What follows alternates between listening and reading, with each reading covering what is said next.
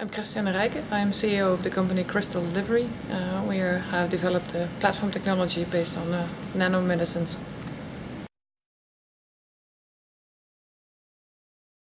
I think nanomedicines offers opportunities to create new type of products, products in all kind of indications for all kind of routes of administration. So it's open, opening up new areas to treat diseases, all kind of diseases in a better and improved way.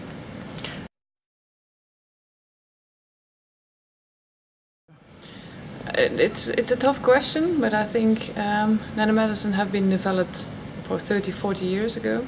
Uh, we've made some substantial steps forward, um, and I'd say that in the next 30 to 40 years we'll see actual products coming, more products coming on the market, which can bridge the, the biological well difficulties in treating a disease with the um, chemical properties of a nanomedicine. So they, they actually we have more tools nowadays about the underlying mechanism of action of diseases, and by combining clever ways, um, we can create nanoparticles that actually treat diseases better.